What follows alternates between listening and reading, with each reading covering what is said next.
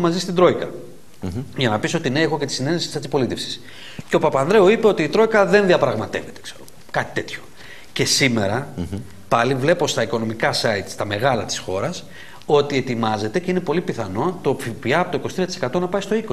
Αυτό είναι επιτυχία του Σαμαρά. Σε κάθε περίπτωση. Και μόνο που έβαλε τη συζήτηση και τα νούμερα πάνω στο τραπέζι, Όχι, κι άλλο πρέπει να πέσει ο ΦΠΑ. Στ- Και στο 20 Δημήτρη δουλειά δεν κάνουμε, να το ξέρεις. Σίγουρα. Αν Ας- δεν πάει ο, θη- ο ΦΠΑ εκεί στο 15, στο 10 έστω, καλά, τόσο πολύ μην. στο 10 έστω στο 15. Βρε, ας μην πάει εκεί που ήταν. περιμένεις. Α πάει στο 19 από εκεί που το πήρανε, που μου το πήγανε στο 21 και μετά στο 23. Και το 19 πολύ είναι. Εν πάση περιπτώσει. Να φύγει, να πέσει στο 10. Σημασία έχει ότι κατόρθωσε μία πρόταση. Να του. σταματήσει αυτή η τρομολαγνία του κόσμου, Δημήτρη. Ναι. Να ξέρει ο άλλος Και η ότι θα πάει πάρει κατανάλωση μια θα μπλούζα, βοηθήσει. θα, του- θα του ζητήσει ο μαγαζάτορας 30 ευρώ και από τα 30 αυτά ευρώ που θα του ζητήσει ο μαγαζάτορα θα δώσει κάτι λίγα για το ΦΠΑ. Στη βενζίνη. Και πού πας; ενδεχομένως Στη να πάρει και βενζίνη. δύο. Αν το ΦΠΑ είναι 10 ή 15%, να πάρει και δύο μπλούζε. Αν το ΦΠΑ είναι στο 23, θα πάρει μία με το ζώη. Ναι. Σημαίνει ρίχνει το τζίρο του καταστήματος. Σημαίνει ότι η κυβέρνηση δεν εισπράττει φόρο από το τζίρο του καταστήματος. Εισπράττει λιγότερο φόρο διότι ο καταναλωτής αγοράζει μόνο μία μπλούζα. Είσαι οικονομολόγος, θα ξέρεις καλύτερα Ναι, από μένα το- αυτά τα τα λες πράγματα. σωστά, όμως Σου εγώ- λέω 10 ή 15 το, και 20 πάλι, και πάλι είναι πολύ ο ΦΠΑ. Ορίστε.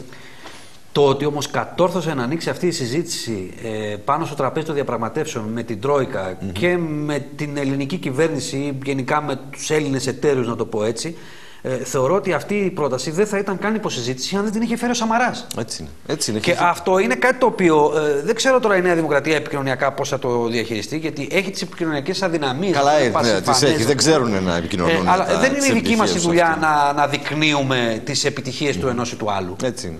Η- Είναι δική τους δουλειά. Η δική μας δουλειά είναι να μετράμε αν αυτές οι επιτυχίες κατέγραψαν Δώστε μας δύο λεπτά, κυρία Δαμιανάκη, γιατί αυτά που λέμε είναι σημαντικά να τα Κατέγραψαν ακούσει ο κόσμος. Ορίστε. ναι. ποσοστά ε, στην κοινή γνώμη, δηλαδή στις δημοσκοπήσεις της κάθε Κυριακής, ή δεν κατέγραψαν. Θεωρώ λοιπόν ότι είναι μια πολύ μεγάλη επιτυχία και όπως αυτό, όπως το άλλο με τα 50 δις που είχε πριν 6 μήνες πριν ο Σαμαράς και ήρθε η Τρόικα και είπε: Βρείτε 50 δις από αξιοποίηση. Δεν είπε η Τρόικα: Πουλήστε. Αν είστε μάγκες, κάντε τουριστικά θέρετρα, φέρτε Ρώσους και πάρτε τους στα ρούβλια. Είναι τόσο απλό. Πάρτε τους στα ρούβλια, φορολογήστε τις ελληνικές επιχειρήσεις, δημιουργήστε υπεραξίες με τα ΦΠΑ και με τους φόρους εισοδήματος, αποπληρώστε τα χρέη σας. Έτσι κάνει κάθε νοικοκύρης. Μα έτσι είναι. Άμα δεν βγάλεις, πώς θα πληρώσεις; Λοιπόν. Με τι, δεν θα δανείζεσαι και πληρώνεις τα, τα, τα χρωστούμενα. Δεν κυβερνά αυτή η κυβέρνηση δυστυχώς, ενώ έχει μια τεράστια πλειοψηφία, ενώ κέρδισε με μια πολύ μεγάλη διαφορά, ενώ έχει μια άπλετη κοινοβουλευτική άνεση.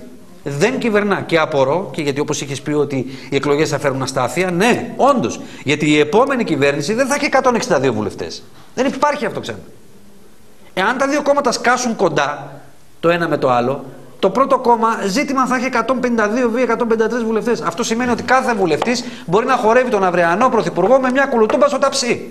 Μάλιστα. Ε, αυτό δεν είναι καλό. Αυτό όμως δεν συνέβη με Καραμαλή. Ξεχνάς τον Τατούλη και τον Μανώλη, οι οποίοι κάθε τόσο που διαφωνούσαν με κάτι ε, έκαναν κουλουτούμπες και κινδύνευαν με διαγραφή, η οποία διαγραφή όμως μείωνε την κοινοβουλευτική αξία της Νέας Δημοκρατίας. Αυτό είναι δηλαδή ένας βουλευτής να σε πιάνει από εκεί που δεν πρέπει να το πω. Λοιπόν, θα πάμε, θα πάμε στο Λευκό Πύργο τώρα; Βεβαίως. Θα πάμε στο Λευκό Πύργο. Λοιπόν, θα σας δούμε στο Λευκό Πύργο. Ξανά μαζί, τηλεοπτικά, εδώ αύριο. Σε λίγο θα τα πούμε παρέα στο Λευκό Πύργο. Γεια χαρά σε όλους.